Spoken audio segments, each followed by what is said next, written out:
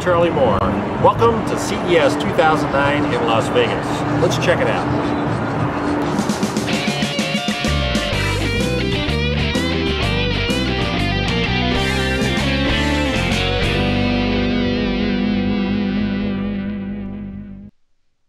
Let's go over and see what's up at the Panasonic booth. Come on.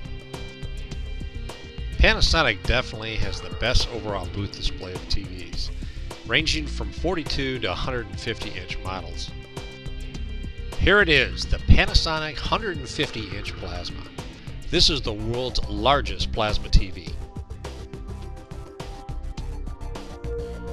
Although it doesn't look like it, it's really over 6 feet tall and around 11 feet wide. It makes these 42 and 50 inch displays look tiny, even the 103 looks small.